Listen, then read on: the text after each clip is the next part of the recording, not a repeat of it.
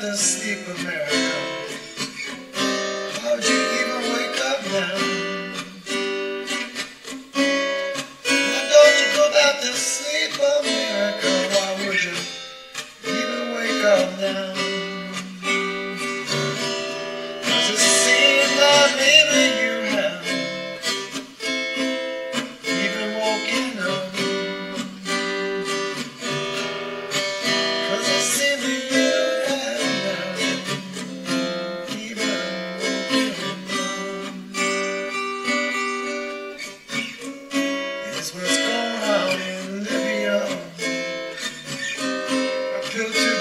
there for you to swallow. Here's what's going on in Libya. Keep it up, you to swallow that sugar.